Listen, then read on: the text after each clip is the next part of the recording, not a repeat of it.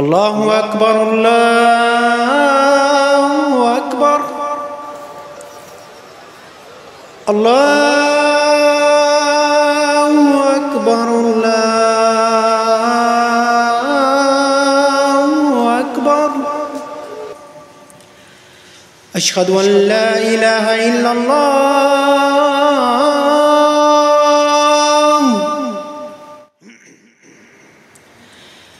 أشهد أن لا إله إلا الله.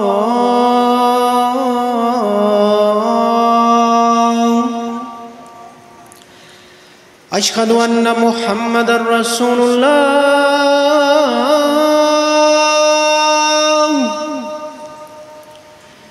أشهد أن محمد رسول الله.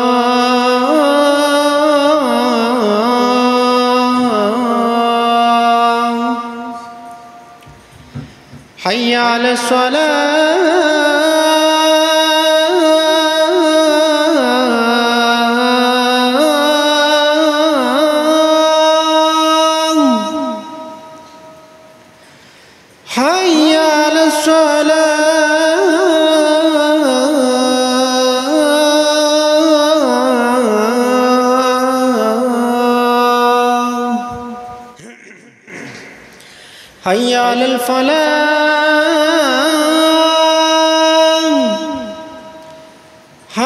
على الفلاح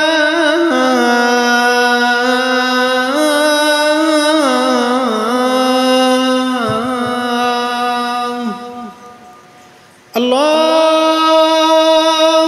أكبر الله أكبر.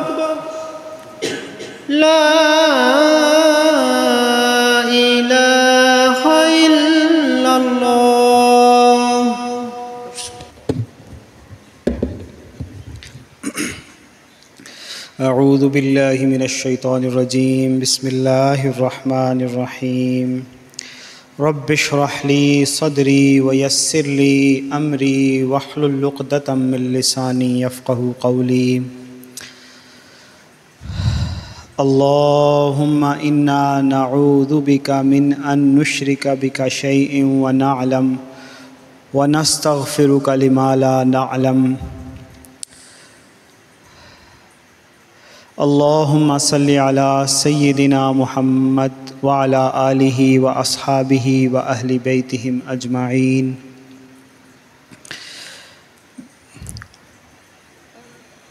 اس وقت اگر کبوتر کی طرح کسی نے آنکھیں موندھی ہوئی ہوں تو اور بات ہے۔ یا پھر کوئی زندگی کے اپنے مشاغل میں اتنا مست ہو کہ اسے اپنی ذات کے علاوہ کچھ اور نظر نہ آتا ہو تو اور بات ہے۔ ورنہ ہر دیکھنے والی آنکھ کو دکھ رہا ہے کہ اللہ کا قہر زمین کے اوپر نازل ہونا شروع ہو گیا ہے۔ چاہے وہ غزہ ہو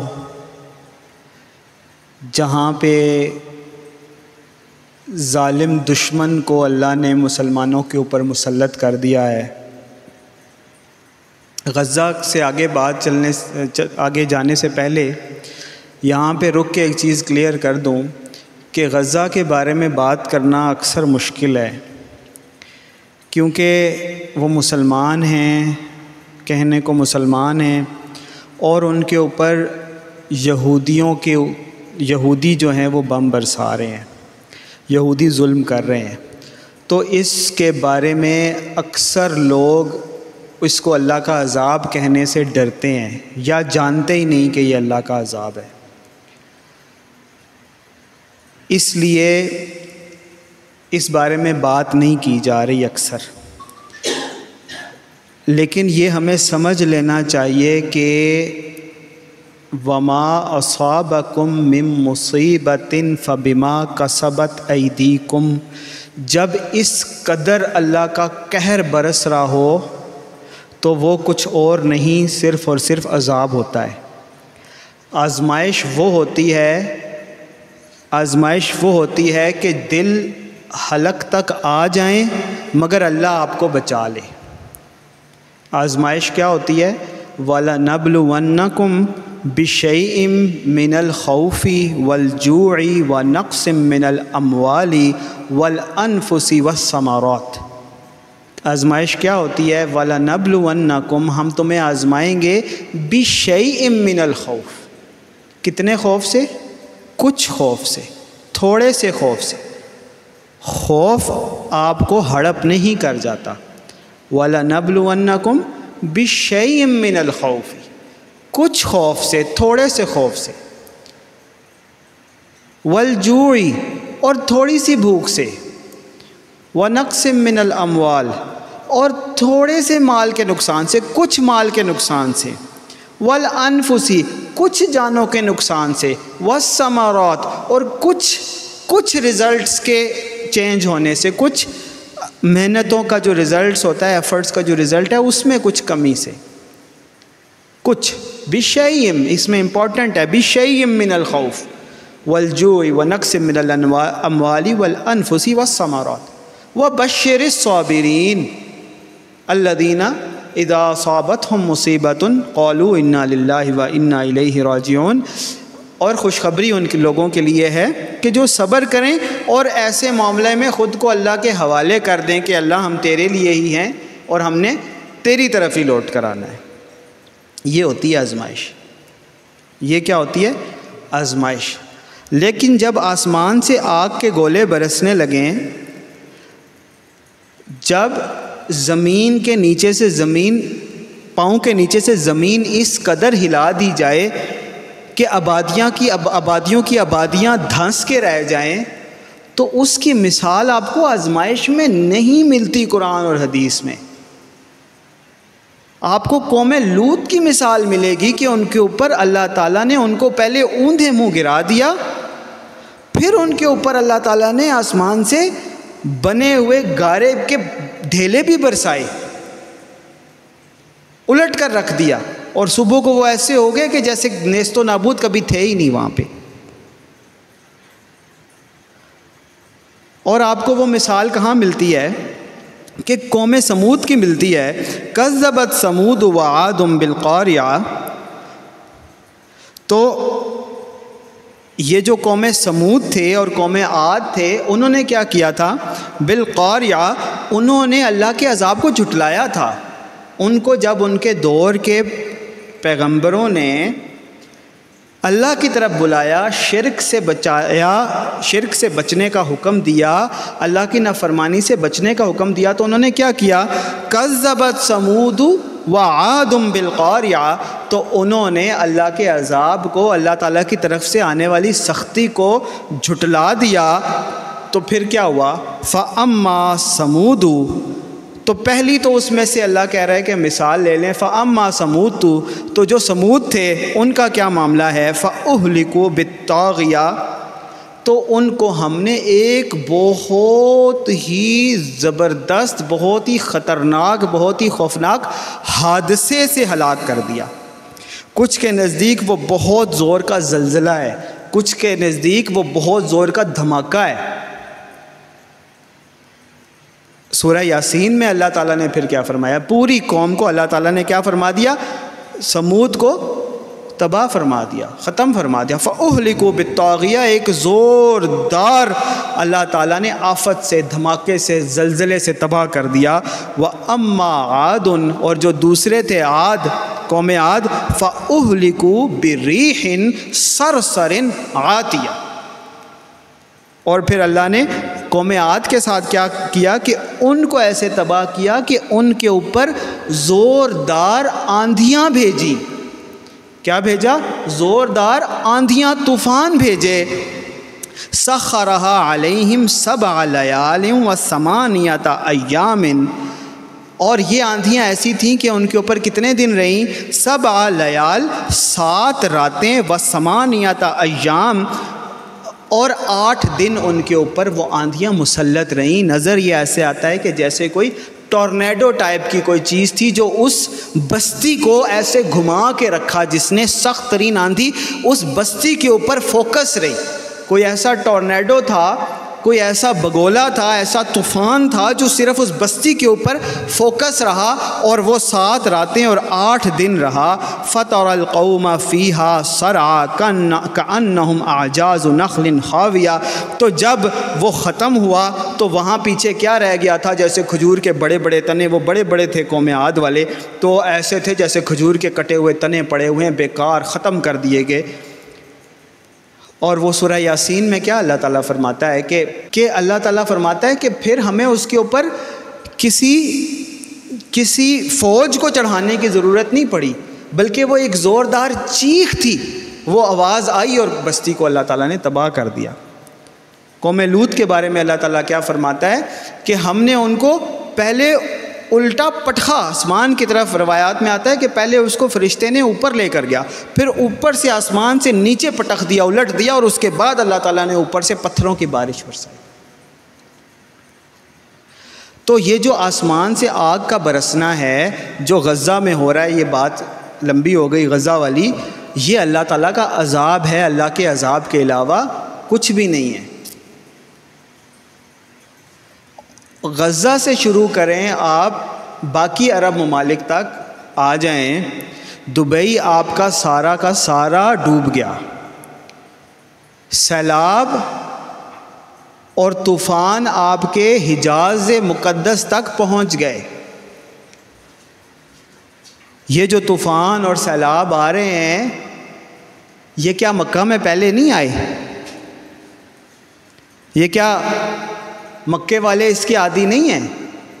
کیا ان کو نہیں پتا کہ جب ایسا طوفان آئے، ایسا اللہ کا عذاب آئے کہ جو آس پاس والوں کو ہلا کر رکھ دے، جھنجھوڑ کر رکھ دے، ختم کر کے رکھ دے، تو وہ کیا ہوتا ہے؟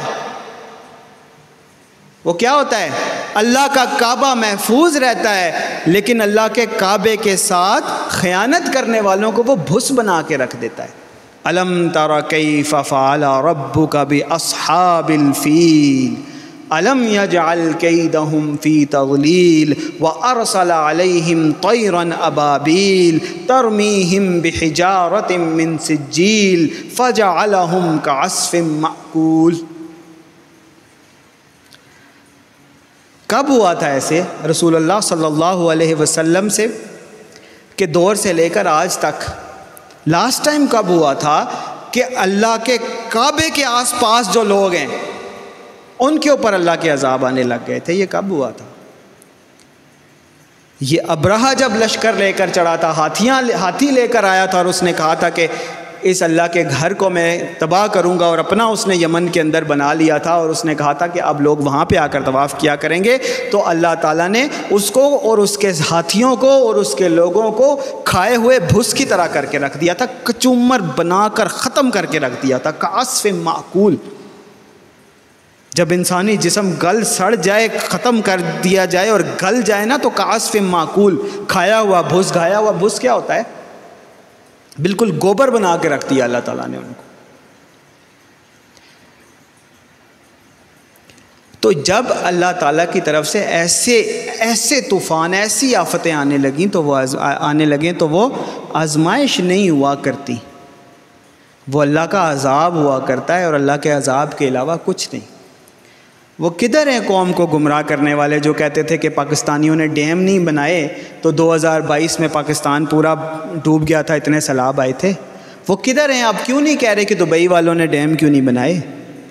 وہ اب کیوں نہیں کہہ رہے کہ مکہ والوں نے ڈیم کیوں نہیں بنائے؟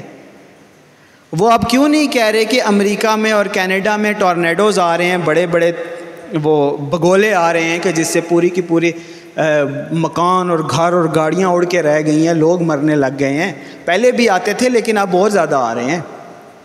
وہ کیوں نہیں کہہ رہے کہ انہوں نے ڈیفنس میکینزم سسٹمز نہیں بنائے تھے اس ویدر چینج کے خلاف؟ مکہ میں تو ایسا ہوا تھا کہ اصحاب الفیل کے اوپر اللہ تعالیٰ نے آسمان سے پتھر برسائے تھے، ان کو کھائے ہوئے بھس کی طرح کر دیا تھا۔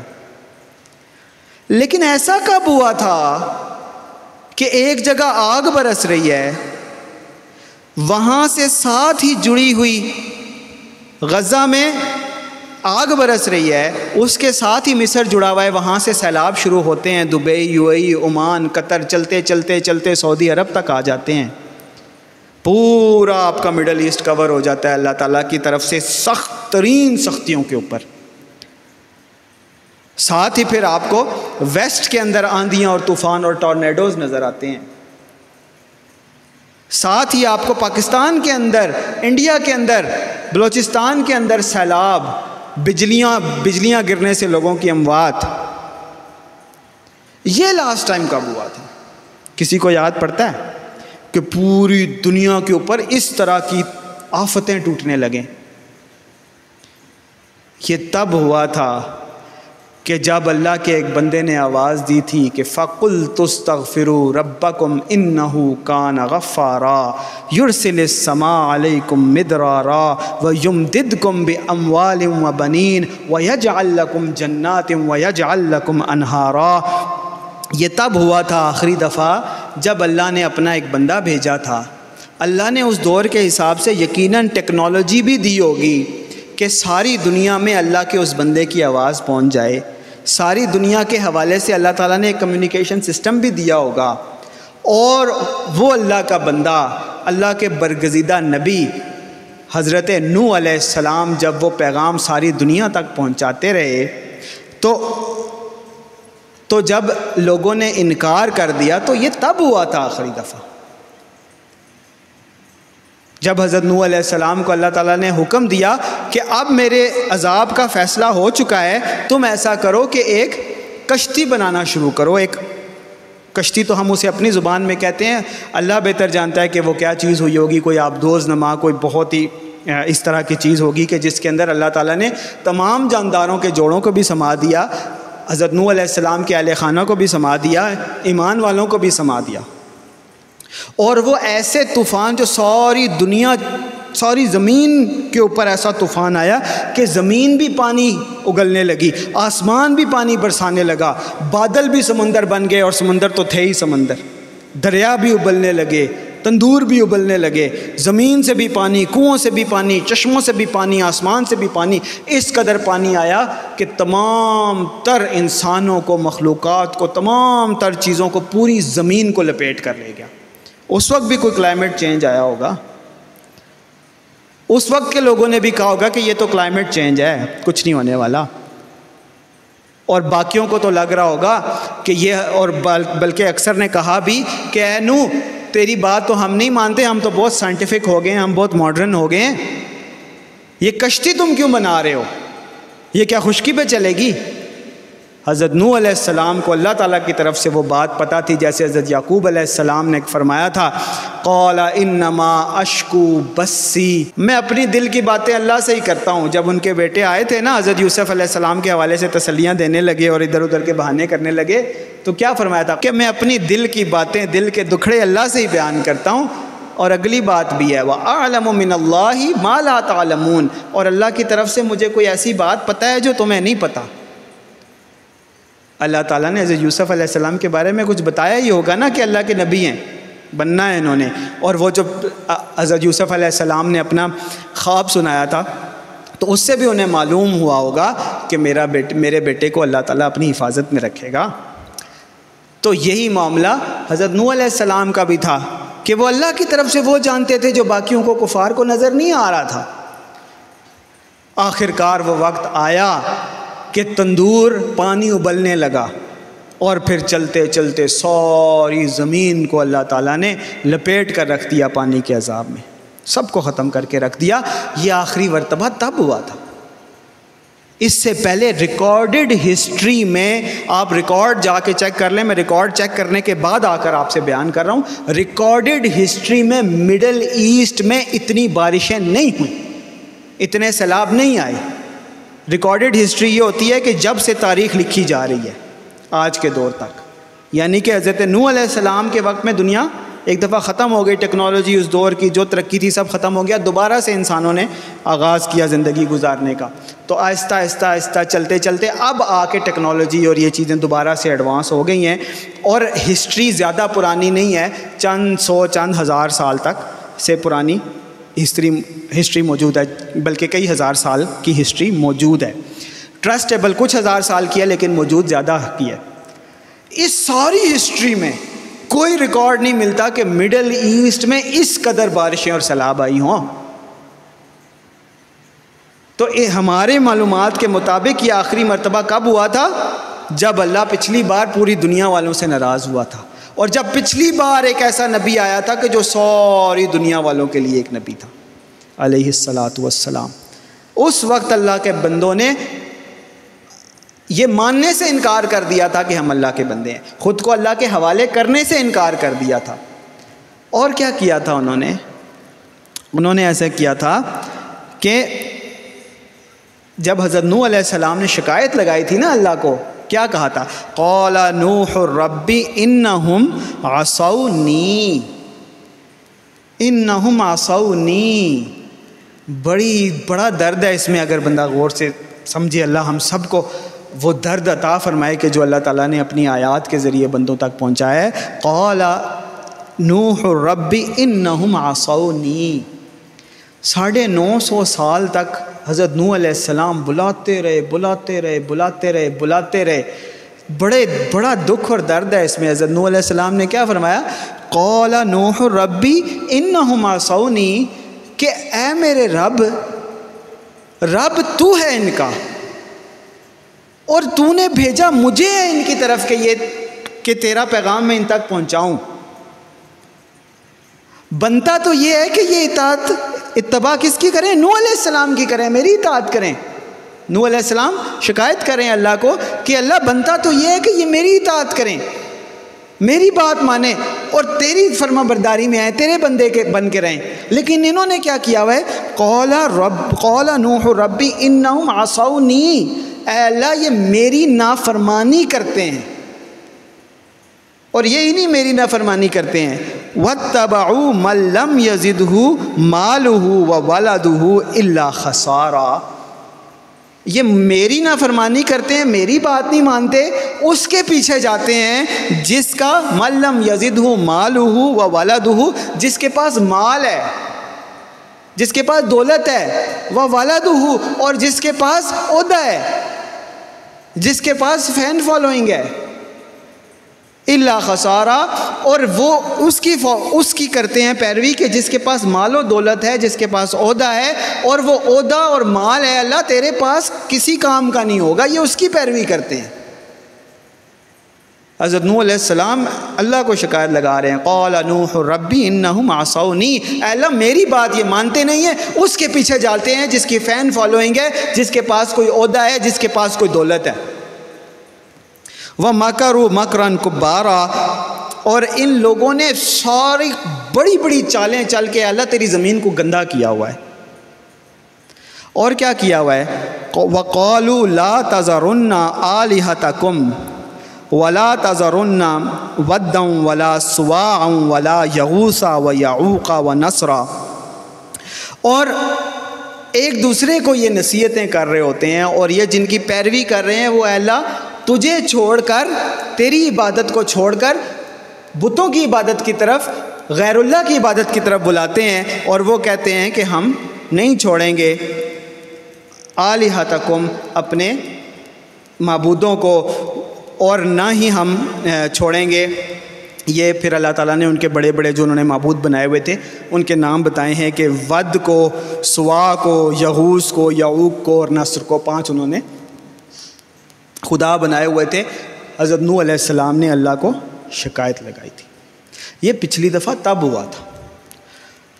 اور دیکھتی آنکھ اگر کسی کی ہو، اگر کوئی بالکل مردہ نہیں ہے اور بالکل دنیا اور معافیہ سے بے خبر ہو کر اپنے نفس کی پوجا میں نہیں لگا ہوا، تو اس، ہر اس شخص کو یہ نظر آ رہا ہے کہ اس وقت اللہ کا عذاب پوری دنیا پہ برس رہا ہے۔ لیکن میری سمجھ میں یہ نہیں آتا کہ وہ لوگ اس وقت آٹھ ارب انسانوں میں سے وہ لوگ کہاں ہیں کہ جن کی آنکھیں کھلی ہوں، ان کا دل کچھ نہ کچھ جاگ رہا ہو اور وہ یہ سوچیں کہ کیوں اللہ کا عذاب برس رہا ہے؟ کیوں پاکستان میں سیلاب آئے؟ پچھلی دفعہ پاکستان میں کب سیلاب آئے تھے؟ دو ہزار بائیس میں ساری یہ جو آپ کا برسات کا موسم تھا گرمیوں سے آنورڈز پورا سندھ آپ کا ڈوب گیا تھا، آدھا پنجاب آپ کا ڈوب گیا تھا، جب یہی آپ کے بڑے بڑے یہ جو بنے پھرتے ہیں دین کے ٹھیکیدار، یہی بیان دے رہے تھے کہ ڈیم نہیں بنائے پاکستانیوں نے، اس لیے یہ سیلاب آئے ہیں، یہ تب آئے تھے، یہ ابھی۔ یہ آپ کا سال، یہ جو پچھلا سال گزرا ہے، اس میں سختی انتہا درجے کی تھی۔ گرمی انتہا درجے کی پڑی، سردی انتہا درجے کی پڑی۔ اس کے بعد یہ گرمیاں صرف یہ پچھلی گرمیاں آپ کی سیلاب کے بغیر گزری ہیں، ابھی یہ سردیاں پھر آئی ہیں تو اس کے بعد پورے پاکستان میں سیلاب آنا شروع ہو گئے۔ کتنا ٹائم آپ کو گزرا ہے؟ پھر سے اللہ تعالیٰ کا عذاب آ رہا ہے۔ تھوڑا سا بھی وقت آپ کو بریک ملتی ہے تو آپ اپنی دنیا اور مال اور اس میں لگ جاتے ہیں۔ تو میری سمجھ میں یہ نہیں آتا کہ وہ لوگ کہاں ہیں؟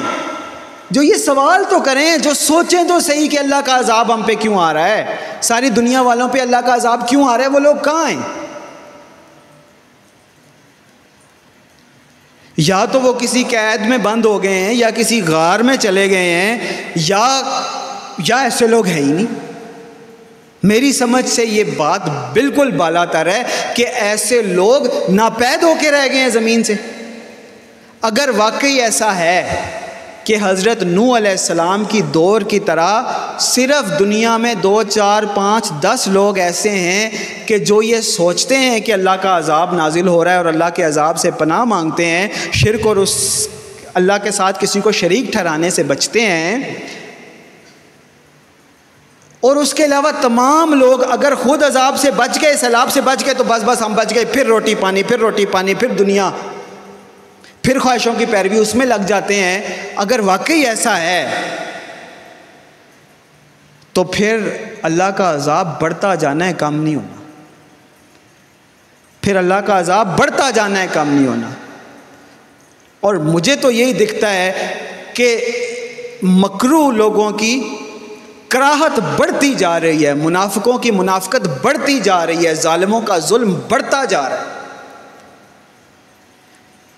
اللہ نے کیا فرمایا؟ والا نوزی قن من العذاب الادنا دون العذاب الاکبر لعلہم یرجعون اللہ کا اصول یہ ہے کہ ہم انہیں پہلے تھوڑا تھوڑا عذاب دیں گے، بڑے عذاب سے پہلے تھوڑا تھوڑا عذاب دیں گے لعلہم یرجعون یہ شاید کہ اللہ کی طرف آنے لگ جائیں۔ اگر نہیں آئیں گے تو پھر بڑا عذاب آتا ہے۔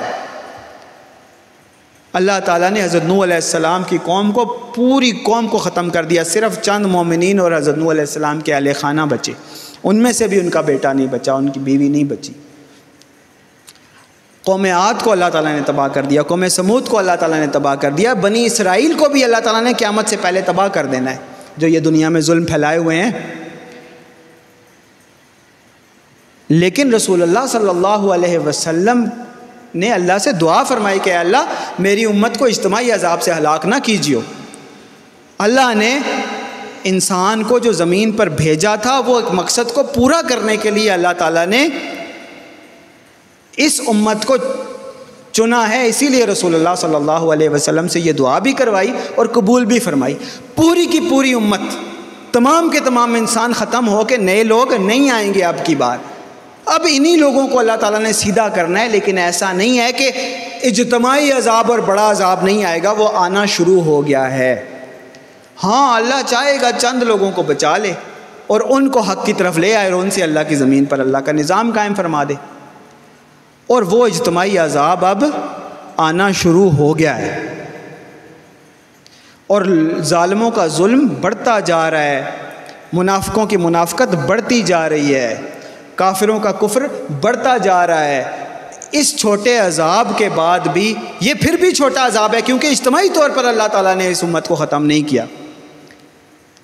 اس چھوٹے عذاب کے بعد بھی ظلم بڑھتا جا رہا ہے، منافقت بڑھتی جا رہی ہے اور اگر یہی صورتحال ہوئی تو اللہ تعالیٰ کا عذاب بھی بڑھتا چلا جائے گا۔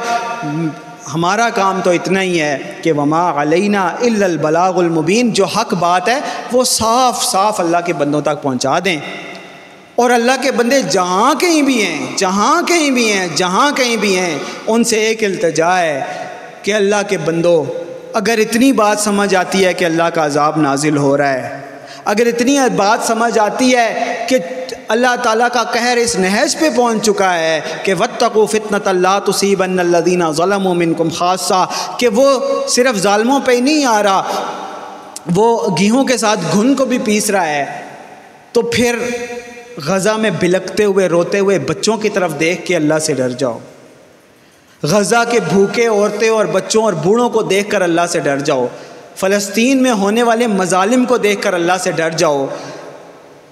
ہلاکو خان کی یاد آج تازہ کر دی ہے یہودیوں نے۔ مسلمانوں کے کھوپڑیوں کے مینار آج ہمارے سامنے بن رہے ہیں۔ آنکھیں مت موندھو۔ مسلمانوں کے قتل عام کو دیکھ کر ڈر جاؤ۔ دبئی میں آنے والے طوفان اور سیلاب کو دیکھ کر نو علیہ السلام کے دور کے عذاب کو یاد کرو۔ پاکستان کے اندر بجلیاں گرنے سے پورے ملک میں جو لوگ فوت ہوئے ہیں، اس کو دیکھ کر اللہ کے عذاب کو یاد کرو۔ اور لاکھ غلطیاں کی ہوں گی، لاکھ کوتاہیاں کی ہوں گی، کم از کم اتنا تو کر لو کہ اے اللہ اے اللہ، تو اگر ہم سے ناراض ہے، تو زمین والوں سے ناراض ہے، تو ہمیں بتا دے کہ اصلاح کا رستہ کیا ہے۔ تو ہمیں بتا دے کہ اصلاح کا رستہ کیا ہے۔ وہ کون سا رستہ ہے، وہ کون سا در ہے جہاں پر ہم نے جانا ہے۔ اور صرف جہاں سے ہمیں رستہ ملے گا کہ ہمیں صرف تیرے آگے جھکنا آ جائے۔ اور وہ در کیا ہے؟ اس سے پہلے کہ تمام لوگ تزبز اب میں پڑھیں وہ در دل کے اندر موجود، وہ ایمان ہے، وہ رستہ ہے کہ جو سجدہ آپ اپنے گھر کے اندر، اپنی جانماز پہ موجود، کسی کونے کے اندر، کسی غار کے اندر، کسی بازار کے اندر، کسی دکان کے اندر بھی موجود ہوتے وہ سجدہ اللہ کو کریں، وہ در آپ کو نظر آ جائے گا کہ اللہ کا رستہ، اللہ کو رستہ کون سا جاتا ہے۔ اور اللہ تعالیٰ سے یہ دعا کریں، یہ دعا کریں رب حبلی حکم و الحقنی بالصالحین۔ اے اللہ، آج کے فتنوں کے دور میں مجھے قوت فیصلہ عطا فرما۔ وہ الحقنی بالصالحین، اور اے اللہ، تیرے نیک بندے جہاں کہیں پہ بھی ہیں، مجھے ان کے ساتھ ملا دے۔ آج تو سوشل میڈیا کا دور ہے، کمیونیکیشن کا دور ہے۔ وہ اللہ کے نیک بندے یمن میں ہوئے تو اللہ تعالیٰ آپ کو ان سے ملا دے گا۔ وہ اللہ کے نیک بندے جن سے اللہ راضی ہوگا، وہ شام میں ہوئے تو اللہ آپ کو ان سے ملا دے گا۔ وہ اللہ کے نیک بندے مکہ میں ہوئے، مدینہ میں ہوئے تو اللہ تعالیٰ آپ کو ان سے ملا دے گا۔ اللہ تعالیٰ سے مانگو تو صحیح کہ اے اللہ، وہ امان کی جگہ کہاں ہے؟ وہ امان والے لوگ کہاں ہیں؟ یا اللہ ہمیں ان سے ملا دے۔ اور اے اللہ، سب سے پہلے ہمیں ان میں شامل فرما دے۔ میں اور آپ یہ دعا کرتے ہیں۔ اور ہم، ہمیں اللہ تعالیٰ، اے اللہ، ہم تو سے دعا کرتے ہیں کہ ہمیں توفیق عطا فرما۔ کہ لوگوں کو جگاتے رہیں۔ لوگوں کو اس سے پہلے کہ ہر ایک کو تیرا عذاب لپیٹ لے۔ اللہ ہم تجھ سے دعا مانگتے ہیں، توفیق مانگتے ہیں کہ تیرا پیغام ہر بندے تک پہنچا دیں وسلاۃ وسلام علیہ سیدنا محمد والا علیہ و صحابہ والی بیتی اجمعین۔